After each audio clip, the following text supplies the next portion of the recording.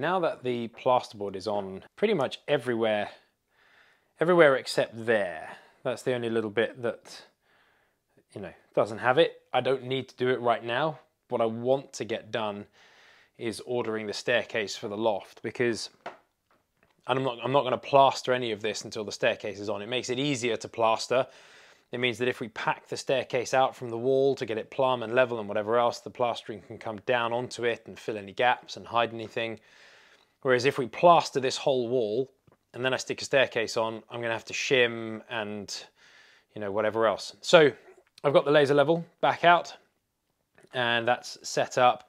You can do it with one of these and then a tape measure, but it's just easier, right? I've got the, I have the level here. So what I'm doing, this, this laser effectively makes sure that the, the staircase, if this was the end of the stair, it will land on here and there'll be lots of space. So, you know, I can, I can dial that in or move that over as much as I wish, you know, to make sure I'm, I'm on it as much as I want to be. Obviously I haven't got a vast amount of space with this door lining here and the door frame. So I've just, I've got to kind of balance the two. So that's, that's fine. I kind of want to make sure that I'm really tight on the measurement this way, but I can be a little bit loose on the measurement this way because you can pack it out and, and bring it out from this way or bring it out from that way. That That's okay. Obviously you want to be tight everywhere, but if you're not or if you can't be, then you can't really mess around too much with that because you need to make sure that the you know the, the stair lands on that and it's nice and sturdy when you cut this banister out. So what I'm going to do, I'm going to measure from this wall at various points, coming back and you know hitting here, here, here, and I'll, and I'll do it lower down as well, just to make sure that I am dead dead on and exactly what the measurement is from here to here. If I take a couple of measurements, that's useful. The other point that I'll need to do is measure from the wood, from the white bit, up to the steel beam that's, that's on there to get the height, right? So finished floor height to finished floor height, that's, that's fine. I'll be creating a landing in this space there, so that's, that's irrelevant. But I think what will happen is probably most of this ceiling will come out and I'll rebuild a fair chunk of it actually, because I don't want this the whole way across or even part way across. So that'll be coming out. So yeah, I'm just going to spend a little bit of time measuring, marking, making sure that I've got that accurate. Done the measurements in the past, but then I stripped all of this plaster off. So I, I want to redo it and check just in case to make sure that I'm perfectly happy. Effectively what we'll go for is a few steps up and a kite winder and then it'll come up again. So, so this will kind of land up here, come across and then, and then up. So yeah, uh, what I'll probably do is I'll show you the website that I'm going to use. I've used them once before and I know other people that have used them and it's really good. It's, it's called Stairbox. So I'm not sponsored by them. This isn't a paid video, but I'll, um, I'll put, put the details in there and you can see in the description. You can jump on there if you need a staircase as well because they're really good value for money. When you are figuring out your staircase and you want to know, well, basically there are some really critical measurements that you need to know. And I've jotted them down. I know that I have put the names on these wrong, but I've written something that I understand, that I can comprehend. There were going to be lots of different names for things, going and rise and run and all that sort of stuff, which is fine. All those things are good and, and it's worth getting to know what those are. I have incorrectly written them, but I, the measurements that I've checked are right. But it's ostensibly what you need is to know the measurement between where your staircase is going to land and where the wall is, and also the distance between this wall and this wall, so that the staircase can, can sit on it. You also need to know the distance between here and your ceiling, and the distance between here being under the carpet where the wood is, the floorboard, and also, in my case, it's the top of the steel beam because that's the finished floor height. Well, that, that's the height at which the, uh, the step is going to land. It's going to sit on the steel beam because all, this, all the treads here are 22 mil and you use 22 mil chipboard and there's like a little mini step on the top one that lands on the thing so it that lands on the steel so If you make sure that you measure it to the steel, then the top step will sit on it and you can butt your floorboard right up to it and it will all run through smoothly. And that, that's what I did in this here. So this runs nice and smoothly through because there's a little top mini tread. There's like a top mini tread here. So you can then run through between there and there. So you need to make sure that this top mini tread lands on your steel. Now, my steel is completely level, but if yours, if yours wasn't, I just want to show you a quick technique of what you can do. If you get a 1.8 meter spirit level and you clamp it to the point where your staircase is going to land, so look, you can see that my, my spirit level is nice and level. This now sits directly above the area where I need to measure. So I can now run a, run a tape measure from the underside of this to the floorboard and I know that I'll be bang on accurate because it's so level that's I don't actually need to do that what I could do is just measure from the floorboard here to the underside of this timber that's another way for me to do it because this timber is sat directly on the steel beam so there are lots of different options for that, but having a loft hatch like this makes such a big difference. So you don't have to kind of measure and calculate your ceiling depth and all of that, because all of this is going to go anyway, really. I'm going to end up cutting a lot of this out because all it's doing is supporting the ceiling here. All the weight is being borne well above it on this steel beam now. So, so yeah, that's the deal. That's what you want to, that's what you want to work towards, really.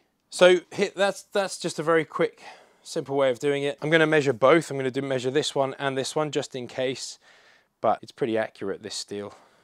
So I'm not too, not too worried. Another thing that if you've been watching my channel for any length of time, you will know I really like to do is to draw a little map or a plan of what it is I'm doing and how I think I'm going to achieve this. So here are the measurements that I was referring to a minute ago and I know I've given them the wrong title, like, you know, the going before the first turn, that sort of stuff. Uh, it's not actually. The going before the first turn is from here to here. What I needed to measure was from here to here. So I've given it the wrong name and also from here to here and here to here. I, I know that I've given these the wrong titles. I don't really mind. I know what I mean and I know what the map needs to look like. There are a couple of different ways you can do it. You can do quarter landings with a big square or you can do kites and winders like this. And uh, so I've measured this, so I know that the finished floor height to finished floor height is 2940. That's, that's absolutely fine. So that's, that's the total amount that the staircase is going to have to rise to get us from the level that we're on now up into the loft. I know that I want the width of my staircase to be 820. That can flex, that can be much narrower or it could be a little bit wider even. And the flex on that, by going wider here, it makes it wider here or narrower here as well as here because obviously the steps get wider. So, and this distance changes too. So this is quite a nice one. If you if you want to try and get it millimeter perfect, which you don't actually need to because you can pack things out and shim. But if you want to try and get it you know, much closer. This is a great way, flexing this down to 805 or 810 or 800 mil is a really nice way of, of getting a couple of extra millimeters or losing a couple of extra millimeters depending on what you're looking to achieve. Similarly, the go of each step, right? So each step is going 220 mil. If you made that 230 mil, the overall length of the staircase is going to increase without changing necessarily the number of steps. So that's a that's something else. I know that I need to travel 1.5 meters this way, I need to travel 2.5 meters this way, and the total overall is 1700. But I need to have a landing which is at least the width of the stairs. So actually I need to go 920 and then have a flat landing as well. So it may well be that we have to do this. Ideally I would do this because I've got a hatch into the side loft and having a nice flat space would be help more helpful but it may be that we have to go with this just because I need to keep traveling up and this one doesn't get us to travel quite as much. Obviously the other way to flex that is then to, to make the rise per step higher than it is. If you've got less step, more steps, you don't have to go as high. If you've got less steps, each one of them needs to go higher. So the rise needs to be higher. One final point that I was that I'm very keen to check is to make sure that the staircase isn't going to conflict with this opening here. Now I did tons of work measuring this on both sides of the wall before I cut it and installed the lintel there. But then when it's done and it's all in and everything and just before the staircase goes in, it still looks like it either comes over too far this way or goes up too high this way. And I just wanted to double check. So what I've done is I have set my spirit level up on the timber here, not on the carpet. And I've clamped it at, at uh, the point that makes it completely level in the bubble. So that's nice and level there. And then what I did is I measured from the top of the spirit level to the bottom of the header there. And that came out as two meters. Two meters there. I also measured from here to the opening there, which is effectively from this point here to that point there and that was 1.75 meters from there to there. So what I'm going to try and do now, I'm going to try and actually jump onto Stairbox and show you what I have done. And hopefully you'll be able to get a sense of how I have put this together and, and some of the compromises that I'm having to make and some of the bits that I think are going to work quite well. So I'm going to try and do that now. So here we are on the Stairbox website, you'll see there. And what I have done is I've gone for a UK domestic staircase. You can change it to Scottish, commercial, no regulations. If you wanted to put a staircase in a place that perhaps didn't need building control sign off. For almost all of us, we want this UK domestic standard. Now, floor height. Do you remember on my... Uh, in fact, actually, this is super helpful. It gives you, if you go to the question mark here, this is the total vertical rise from the finished floor height i.e. the timber, um, the timber floorboards, not your carpet. Where is the timber of the staircase going to be sitting? That's your finished floor height, going all the way up to the finished floor height where the staircase is going to be sitting and resting. In my case, that's my steel beam.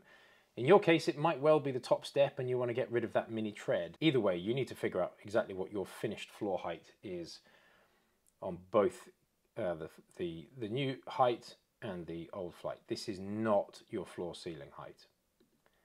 This is a little example of the mini tread that I mentioned. So my floor height is 249 and you'll see that this is actually, it goes up in increments of 5. Mine is 2492, irrelevant. 249 is absolutely fine. And then my ceiling height is 2350. So in this case here, that is the total vertical rise from the finished floor height, from the uh, floorboards up to the underside of your ceiling. This is a less critical measurement, really. It doesn't have as much bearing. It's useful to know for the purposes of this, a headroom checker, and ensuring that you have you know, good headroom at various different points of the staircase, but it's not as critical by any stretch as the floor height to floor height. And then what you can do is you can change this so and, and it will tell you whether or not you are in or out of building regs here. So if I wanted 19 rises, all of them going 220 mil, so that's the run from, uh, from here to here, that's the going of the step, and they're all rising this, it doesn't comply with building regs, it won't work. So that, that arrangement doesn't work. Having 17 rises does work. But my measurements here, I need this to be 2530 and it's undersized and I need this to be 1520 and it's undersized. So what you do is you just keep tweaking these and you can change the number of rises, how far they all go, and you'll see the measurements change. So this is getting closer now, 1510 and 257. The problem with this one is that this is too long. This is very close to my overall length, so this will land on the steel beam, but I don't want it to. For building regs, you have to have a landing at the top and the bottom that is at least the length of the width of the staircase. I'll say that again. So the landing has to be at least as long as the staircase is wide. That is the UK regulation. So in my instance, I need this to be lower so that I can have around 80 centimeters or 800 mil of landing. It's, I'll be honest, it's very rare that that is measured, like the, the building inspector, unless they are a real job's worth, it's unlikely they're going to get a tape measure out and measure it. In fact, I've been around to friends' houses where the staircase lands at the door threshold of the room upstairs and it's been signed off, eh, you know.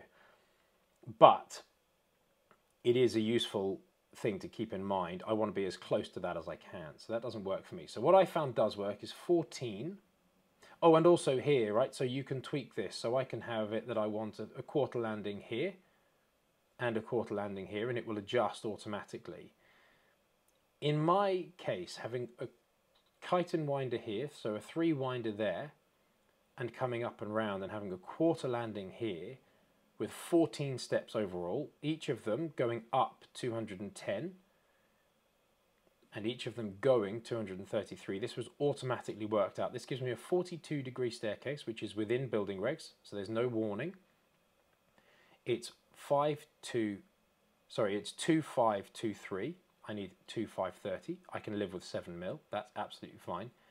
And 1522 versus my 1520 perfect. I can lose 2 mil. That's no problem at all.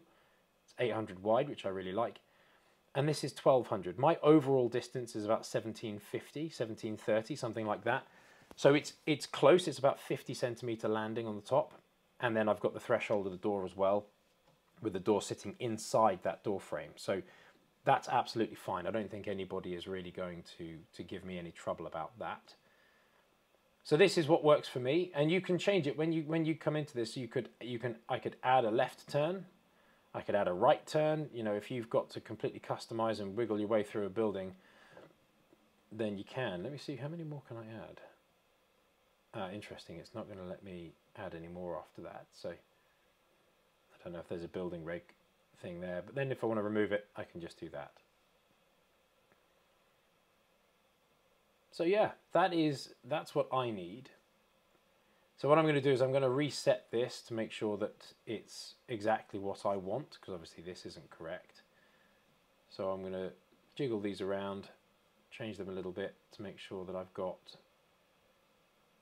so treads before this is this is another thing you can do if you if you need to stretch this amount here I know that I actually need to have four treads this way and I need this to be at 14 and this gets me back to my 2523 152 1260 as I mentioned earlier as well if you change the width of the staircase as well that's obviously going to have an impact on your overall distance. And if you change it for one it automatically changes it for the other because the staircase can't get narrower. The other thing in the UK regs that can't happen is that the stairs can't change the pitch as they're going up. So it has to be a consistent um, slope. In this instance, it's 42 degrees. You can't change the going or the rise of the step midway through the staircase. So I'm going to put mine back, I think it was at 800 or 805, something like that. If I did it to 800, buys me a little bit more this way. 2523 is good, 152 is good. 800 wide, and that is from the outside of the stringer to the outside of the stringer, which is really important. In the, uh, the last staircase install I did, the client had measured this and he thought it was from the inside to the inside. He had not accounted for the fact that it was measuring to the outside of the stringer, and that was what the, what the issue was. It wasn't a huge problem, but it did mean that we needed to shim and pack things out and stuff didn't quite land the way we wanted to. So just be aware that this is from the, from the very edge to the very edge of the stringer. Apart from this measurement here, you'll see it lands at the top step. So this is what will land on the, on the, on the timber. I can then trim this little bit of excess stringer down if I need to for the door frame into my daughter's bedroom, etc, etc, if I don't want this sticking out into the landing. So once you have done all of your staircase layout, it'll give you a price as well, and you'll see this price is slightly different from the one that it was earlier because I've then gone on to the next step. So after doing the stair layout, you then start to look at your balustrades and what you want. So I've gone for square spindles and square posts because that's what we have in our house at the minute. And you can actually build here what you want. So you can click to add things on and it will change. I'll scroll down so you can see how the price changes in the bottom right hand corner as you add on additional sections of, of staircase or remove them, additional sections of balustrade or remove them. You could add on a newel post here if you needed to. I only want a newel post that runs around this point here. But I have to remember the fact that this is going to be floating in midair until I create a landing to catch it.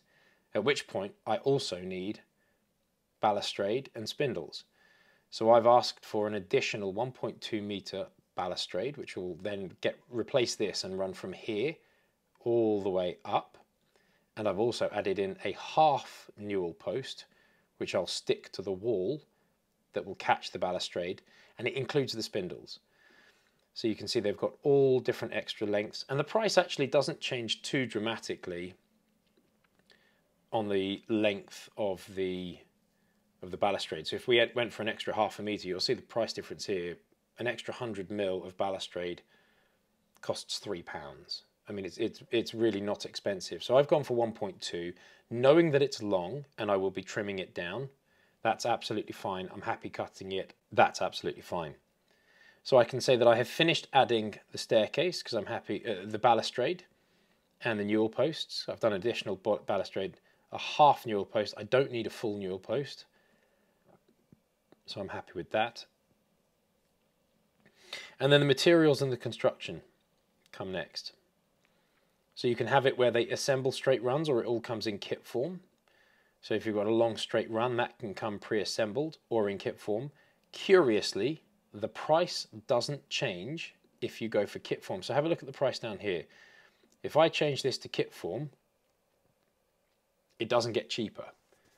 So actually, in my mind, it makes absolute sense. I'm not going to try and be a hero. I'm not going to try and spend my time assembling stuff if someone else can do it for free.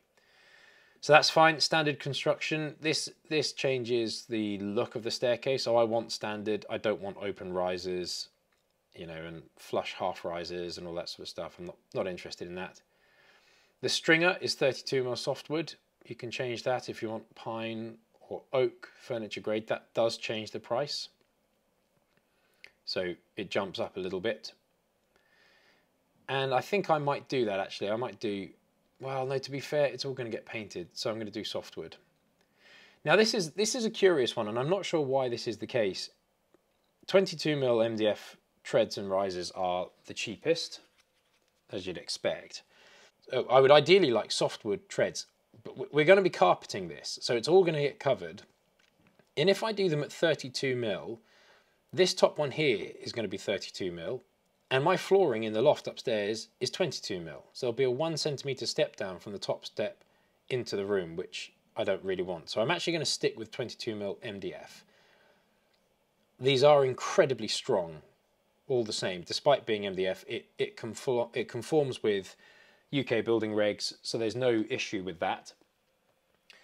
So I'm happy, and it's going to get covered with carpet, and the riser, being softwood, is all going to get painted anyway. The newel post is pine. I don't need oak ones. That's fine. They're getting painted. Same with the balustrade and the um, the handrail as well. And then you can do extras, optional extras. You know, any any additional bits that you that you need. That fixing kit doesn't look too bad to be fair. Two tubes of wood adhesive, a 6mm hammer drill bit, uh, concrete screws. I actually have most of this stuff anyway, to be fair. So I don't need to I don't need to add any of those things on. So yeah, and then you and then you go through to the purchase, and you've got a staircase for just under twelve hundred pounds in my case.